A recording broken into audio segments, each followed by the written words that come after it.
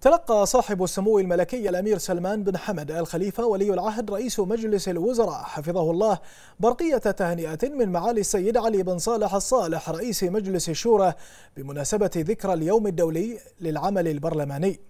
وأعرب رئيس مجلس الشورى عن خالص التهاني والتبريكات إلى صاحب السمو الملكي ولي العهد رئيس مجلس الوزراء بهذه المناسبة وعن عظيم شكره وتقديره لسموه للتعاون المثمر والبناء بين السلطتين التشريعية والتنفيذية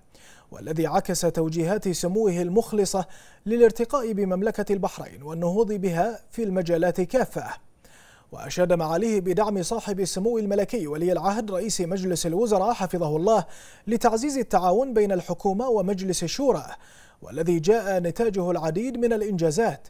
والتي تصب في تحقيق أهداف المسيرة التنموية الشاملة بقيادة حضرة صاحب الجلالة عاهل البلاد المفدى أيده الله. سائلا المولى عز وجل أن يحفظ سموه وأن يسدد على طريق الخير خطاه وأن يحفظ الوطن الغالي ويديم نعمة الأمن والأمان والعز والرخاء عليه.